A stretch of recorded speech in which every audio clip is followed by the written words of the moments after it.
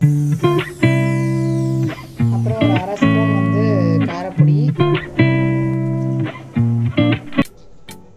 வணக்கம். எல்லாரும் எப்படி இருக்கீங்க? இன்னைக்கு நம்ம சேனல்ல என்ன பார்க்க போறீங்கன்னா ரேண்டமா சில சில ரெசிபிஸ் பார்க்க போறீங்க. ஸோ ஃபர்ஸ்ட் அதில் பார்த்தீங்கன்னா வந்து காலையிலேயே போட்டாச்சு. முதல்ல வந்து வடாம் போடுறது. ஸோ இது வந்து குழம்பு வடாம்னு சொல்லுவாங்க. நம்ம வத்த குழம்புக்கு போடுறதுக்கு அதுக்கப்புறம் கூட்டில் போடுறதுக்கு அதுக்கப்புறம் கீரை கடைஞ்சி போடுறதுக்கு அதுலலாம் வந்து அந்த டாப்பிங் மாதிரி போடுறதுக்காக யூஸ் பண்ணுறதுக்காக பண்ணுற வடாம. ஸோ ரொம்ப சிம்பிள் தான். மற்றபடி காய்ச்சி ஈச்சி எதுவுமே பண்ண வேண்டாம். ஸோ அந்த ரெசிபி பார்க்க போகிறோம் ஸோ நெக்ஸ்ட் பார்த்தீங்கன்னா பேத்மி பூரி இன்னைக்கு ஃபர்ஸ்ட் டைம் ட்ரை பண்ணியிருக்கேன் ஸோ இது ஒரு one of the most famous north இந்தியாவில் டெல்லியில்னு நினைக்கிறேன் ரொம்ப ஃபேமஸான ஒரு ரெசிபி ஸோ அதோட ஒரு சப்ஜிக்கு வந்து நான் ஆலு சப்ஜி வந்து ரெடி பண்ணியிருக்கேன். ஸோ கொஞ்சம் டிஃப்ரெண்ட்டாக நம்மளோட யூஷுவல் சப்ஜி மாதிரி இல்லாமல் டோட்டலி டிஃப்ரெண்ட்டான சப்ஜி. அதுக்கப்புறம் பார்த்தீங்கன்னா இன்னொரு ரெசிபி வந்து ட்ரை கிரேப்ஸ் வீட்டில் எப்படி ரெடி பண்ணலாம்? ஏன்னா அந்த சம்மர் டைமில் நீங்கள் இதெல்லாம் ரெடி பண்ணி வச்சுக்கலாம். அது மட்டும் இல்லாமல் கிரேப் சீசனும் கூட இப்போ. ஸோ இது வந்து நம்ம எப்படி பண்ணலாம் அப்படிங்கிறத தான் பார்க்க போகிறோம் ஸோ வாங்க ஒன்றா பார்த்துடலாம் இப்போ தான் நம்ம சேனல் ஃபஸ்ட் டைம் பார்க்குறீங்க அப்படின்னா கீழே இருக்கிற ரெட் கலர் சப்ஸ்கிரைப் பண்ண கிளிக் பண்ணிக்கோங்க. கூடவே பக்கத்தில் இருக்க பெல் ஐக்கனே ப்ரெஸ் பண்ணிக்கோங்க. ஸோ நம்ம ரெசிபிக்குள்ளே போயிடலாமா? வாங்க.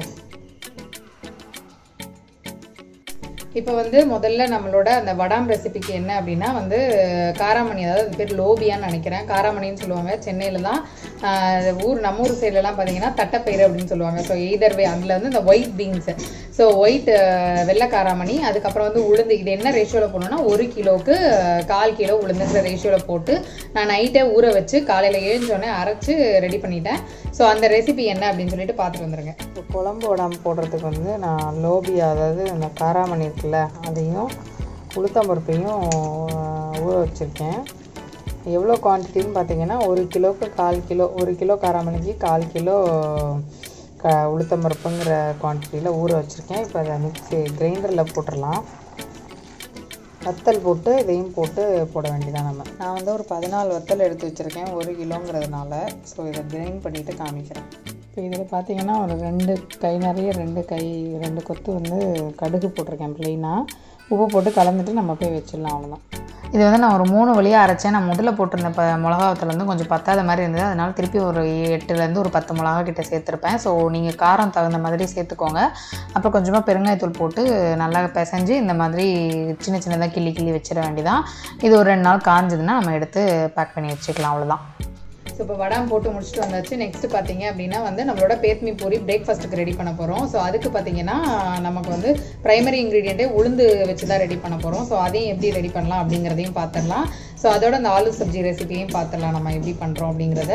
நான் வந்து என்கிட்ட இந்த தொழிற்பருப்பு தான் இருந்ததுங்கிறதுனால தொழிற்பருப்பை நைட்டே ஊற போட்டுட்டு நான் வாஷ் பண்ணியிருக்கேன் உங்கள்கிட்ட நார்மல் பருப்பு இருந்தால் அதே கூட நீங்கள் யூஸ் பண்ணிக்கலாம். இப்போ வந்து நம்ம பேத்மி பூரிக்கு எப்படி அரைக்கிறதுன்றதை பார்க்கலாம். ஸோ அதுக்கு வந்து நான் ஒரு கப்பு உளுந்து வந்து நனைய போட்டு வச்சுருக்கேன். நீங்கள் ஒரு டூ த்ரீ ஹவர்ஸ் நனைய போட்டால் கூட போகிறோம் நான் தொளி உளுந்துங்கிறதுனால நைட்டே நனைய போட்டு அதை வந்து இந்த மாதிரி தொளி எடுத்து வச்சுருக்கேன். ஸோ இதை ஆட் பண்ணிக்கலாம். அப்புறம் இதில் ஒரு துண்டு இஞ்சி அதுக்கப்புறம் வந்து ஒரு பச்சை மிளகா ஒரு பச்சை மிளகாவில் ஆஃப் பச்சை மிளகா தான் போட்டிருக்கேன். அப்புறம் ஒரு அரை ஸ்பூன் வந்து காரப்பொடி இது வந்து Kashmiri red chilli powder coriander powder ஒரு ஒரு ஸ்பூன் கரம் மசாலா ஒரு ஸ்பூன் அப்புறம் ஃபெனல் சீட் சோம்பு அது வந்து நான் ஒரு கால் ஸ்பூன் தான் போடுறேன். எனக்கு அந்த ஃப்ளேவர் பிடிக்கல. கசூரி மேத்தி கொஞ்சம். அப்புறம் சால்ட் இதுக்கு. இது தண்ணி ரொம்ப விட வேண்டாம். விடாமல் ஒரு கோர்ஸாக அரைச்சி எடுத்துகிட்டு வந்துடலாம். நான் சும்மா ஒரே ஒரு ஸ்பூன் தண்ணி மட்டும் விடுறேன். நான் ஒரே ஒரு ஸ்பூன் தண்ணி மட்டும் விட்டுருக்கேன். ஸோ இதை வந்து இன்னொரு ரவுண்டு அரைச்சிட்டோம்னா கொஞ்சம் நல்லா மிக்ஸ் ஆகிடும் அவ்வளோதான் ஸோ வந்து நம்மளோட பேத்மி பூரிக்கு உள்ள அந்த தால் பத்திலிகா இது பேர். ஸோ இது ரெடி ஆயிடுச்சு. இப்போ வந்து மாவு பிசைஞ்சிடலாம் நம்ம. இதுக்கு வந்து நான் வந்து ஒரு ரெண்டு கப்பு மாவு எடுத்துக்கிறேன். ஒரு கால் கப் கிட்ட ரவை சேர்த்துக்கிறேன். கொஞ்சம் நல்லா அது கிறிஸ்பியாக கிடைக்கும். அதுக்கு தான் இது. இப்போ இதை இதில் ஆட் பண்ணி கொஞ்சம் போல் ஆயில் வேணால் விட்டுட்டு நம்ம வந்து பிசைஞ்சு வச்சிடலாம். அவ்வளோதான் ஸோ கொஞ்சம் டைட்டாகவே பிசையணும். பூரிக்குங்கிறதுனால. ஸோ நான் செய்கிறத பிசைஞ்சிட்டு காமிக்கிறேன் உங்களுக்கு. இந்த மாவுக்கும் கொஞ்சம் சால்ட்டு போட்டுட்டு பிசைஞ்சிக்கலாம். Thank you.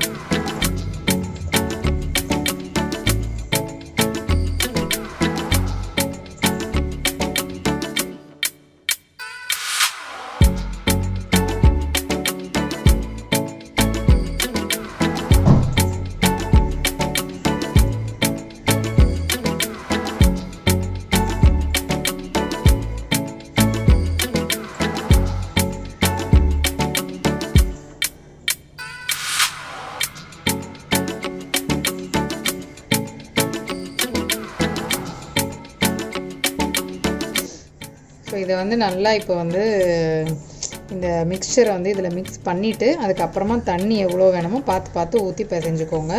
ஸோ ஒரு ஒரு மாவு ஒரு ஒரு மாதிரி தண்ணி இழுக்கும். அதனால் அதுக்கு தகுந்த மாதிரி பிசைஞ்சுக்கோங்க. நான் பிசைஞ்சிட்டு காமிக்கிறேன்.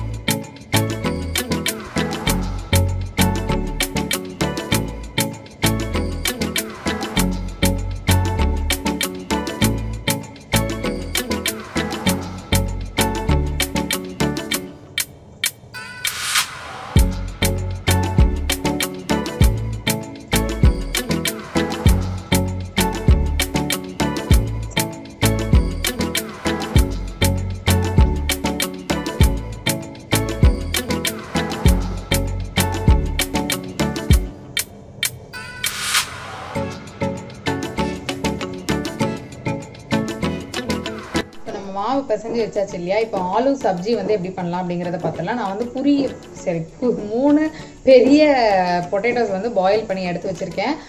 ரொம்ப சூப்பரான சப்ஜி ரெடி பண்ணிடலாம் வாங்க. இப்போ வந்து ஆலு சப்ஜி ஒன்று பண்ண போகிறோம் அதுக்கு வந்து ஆலு வந்து நான் வேக வச்சு வச்சுருக்கேன் மூணு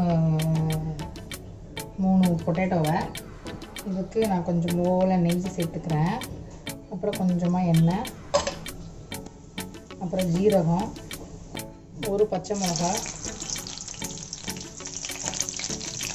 அப்புறம் ஒரு சின்ன துண்டு இஞ்சி வந்து துருவி சேர்த்துக்கிறேன்.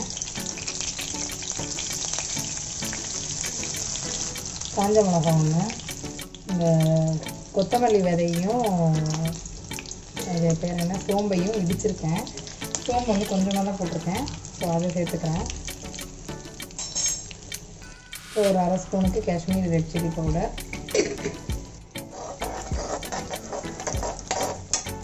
கொஞ்சம் போல வெந்தயம். ஸோ இது எண்ணெயில் நல்லா இதானோடனே இந்த உருளைக்கிழங்கு வந்து இந்த மாதிரி அப்படியே ரேண்டமாக இது பண்ணி சேர்த்துக்கலாம். இப்போ இப்போ இதுக்கு தேவையான தண்ணி.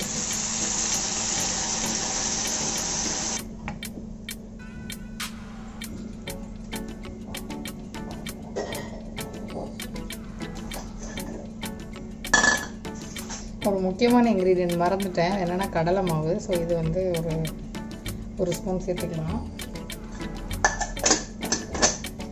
இது ஆக்சுவலி அந்த ஆயிலே சேர்த்துருந்தா அந்த லம்ஸ் வந்து ஃபார்ம் ஆயிருக்காது ஆகாது. ஸோ அதனால் ஆயிலே சேர்த்து நல்லா ஒரு டூ மினிட்ஸ் வந்து அதையும் திருப்பி விட்டுருங்க. ஸோ அதுக்கப்புறம் கொஞ்சம் தண்ணி சேர்த்துக்கலாம்.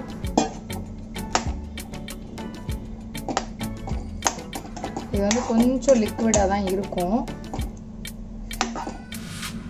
அப்புறம் கொஞ்சம் மூலம் மஞ்சள் தூள். இது கொஞ்சம் நேரம் வந்து கொஞ்சம் பாயில் ஆகட்டும். இந்த டிஷ்க்கு தேவையான உப்பு சேர்த்துட்டு கொஞ்சம் போல் பாயில் ஆக விட்டுருங்க. ஸோ இது ஒரு ரவுண்டு நல்லா பாயில் ஆகிடுச்சு இந்த ஸ்டேஜில் நான் ஆம்ச்சூர் பவுடர் கொஞ்சம் போல் சேர்த்துக்கிறேன். உங்கள்கிட்ட இருந்தால் சேர்த்துக்கோங்க இல்லைன்னா ஆப்ஷனல் தான். அப்புறம் கொஞ்சமாக ஜாக்ரி வேணாலும் சேர்த்துக்கலாம். அதுவும் ஆப்ஷனல் தான். ஸோ ஜாக்ரி இல்லை. நான் நான் போடலை. எனக்கு அது பிடிக்காதுங்கிறதுனால இது ஏற்கனவே கொஞ்சம் காரமும் கம்மியாக தான் இருக்குது நான் பசங்க சாப்பிடணுங்கிறதுக்காக நான் அவ்வளோ காரம் போடல. உங்களுக்கு வேணும்னா கூட கொஞ்சம் காரம் போட்டுக்கலாம். நல்லா பிரைட் ரெட் கலரில் வரும் காரம் போட்டிங்கன்னா. நான் காரம் கம்மியாக தான் போட்டிருக்கேன்றதுனால இந்த மாதிரி எல்லோயிஷ் கலரில் வந்திருக்கு. அப்புறம் கொஞ்சம் கசூரி மேத்தி. ஸோ அதையும் சேர்த்துட்டோன்னா கம கம்மன்னு சூப்பரான தால் சரி சாரி ஆலு சப்ஜி ரெடி ஆகிடுச்சு ஸோ இப்போ அடுப்பு ஆஃப் பண்ணிடலாம்.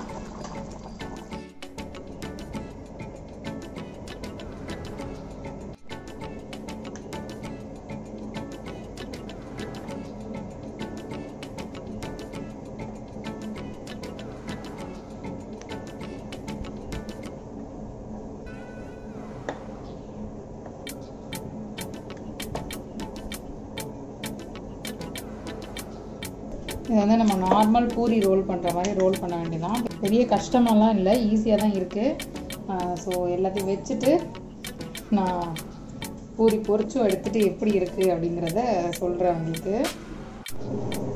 சப்பாத்தி வைக்கிறதுனா மனசா வந்துடுறா.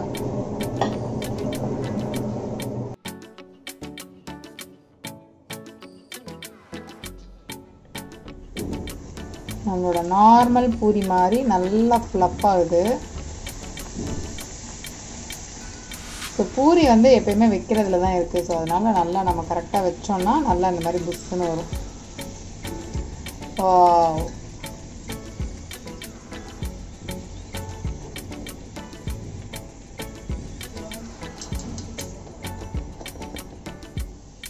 ரொம்ப எண்ணெயும் குடிக்கல நல்லா தான் இருக்குது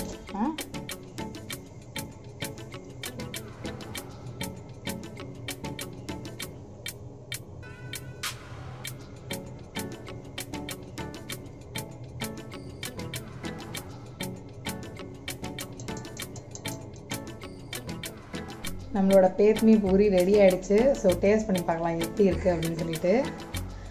ரொம்ப எக்ஸைட்டடாக இருக்குது ஏன்னா வந்து பூரி எல்லாமே கரெக்டாக வந்துருச்சு. ஸோ எப்படி இருக்குன்னு டேஸ்ட் பண்ணிட்டு சொல்கிறேன் நான். சூப்பரான பேத்மி பூரி வித் ஆலு சப்ஜி ரெடி பேத்மி பூரி. சாஃப்டாகவும் இருக்குது நல்லாவும் இருக்குது ஸோ சாப்பிட்டுட்டு எப்படி இருக்குன்னு சொல்கிறேன்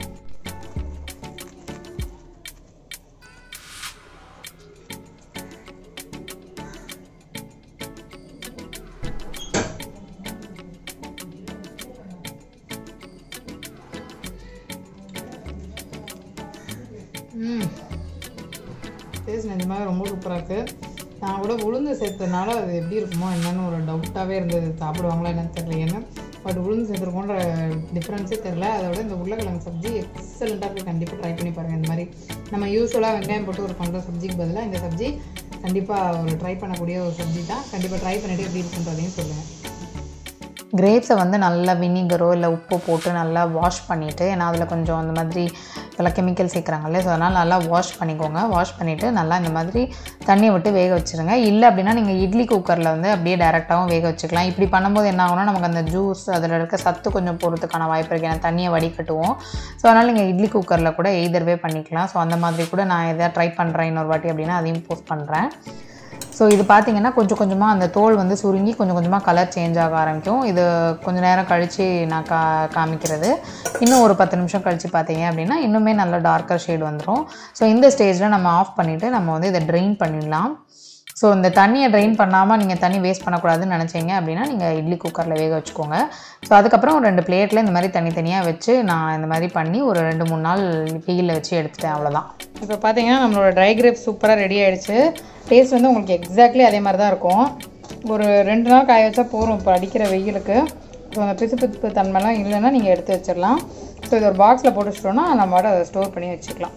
இந்த மாதிரி ஒரு பாக்ஸில் நம்ம ஸ்டோர் பண்ணி ஃப்ரிட்ஜில் வைக்கணும் இல்லை வெளியவே வச்சுக்கலாம். நான் ஈரப்பசமே ஈரப்பசையே இல்லைங்கிறதுனால எதுவுமே ஆகாமல் நல்லாயிருக்கும். ஸோ இதை வச்சு நம்ம வந்து நம்மளோட ரெசிபீஸ்க்கெலாம் யூஸ் பண்ணிக்கலாம். குழந்தைங்களுக்கும் கொடுக்கலாம். இன்றைக்கி நம்மளோட வீடியோ உங்கள் எல்லாருக்கும் பிடிச்சிருக்கா அப்படின்னு சொல்லிட்டு கீழே கமெண்ட் பண்ணுங்கள் ஸோ ரேண்டம் ரெசிபீஸ் தான் நம்ம வந்து கவர் பண்ணியிருக்கோம். ஸோ சம்மந்தமே இல்லாத சில சில ரெசிபீஸ் தான். பட் ஸ்டில் வந்து இது உங்களுக்கு பிடிச்சிருக்கும்னு நினைக்கிறேன். இந்த மாதிரி நிறைய நான் அப்பப்போ ரேண்டமாக ஒரு ஒரு நாள் ஒன்று ஒன்று பண்ணுறது உங்களுக்கு பிடிச்சிருக்குன்னா சொல்லுங்கள் நான் அங்கங்கே பிக் பண்ணி மொத்தமாக ஒரு vlog-ஆ வந்து போடுறதுக்கு பார்க்குறேன் ஸோ ஹோப் வந்து இந்த வீடியோ உங்கள் எல்லாருக்கும் பிடிச்சிருக்கும்னு நினைக்கிறேன். இதில் வந்து இந்த மூணு ரெசிபியுமே நீங்கள் ட்ரை பண்ணி பார்த்துட்டு எப்படி வந்திருக்குன்றதையும் கீழே கமெண்ட் செக்ஷனில் கண்டிப்பாக போஸ்ட் பண்ணுங்கள் உங்கள் எல்லாருமே இன்னொரு இன்ட்ரெஸ்டிங் வீடியோவில் மீட் பண்ணுறோம் அது வரைக்கும் நன்றி.